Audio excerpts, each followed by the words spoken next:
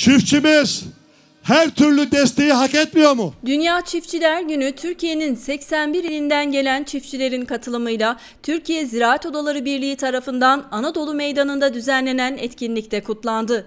Türkiye Ziraat Odaları Birliği Başkanı Bayraktar etkinlikte yaptığı konuşmada Dünya Çiftçiler Günü ve Anneler Günü'nü kutlayarak çiftçilerin taleplerini dile getirdi.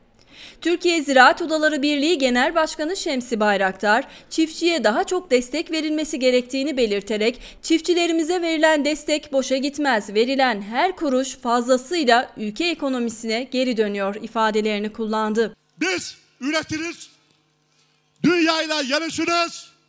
Yeter ki önümüzdeki engeller kaldırılsın. Biz kaliteli buğday üreteceğiz. Hedefimiz kaliteli buğday üretmek ve 30 milyon tona çıkarmak. Öte yandan etkinlikte sanatçı Mustafa Ceceli ile Sevcan Orhan da konser verdi.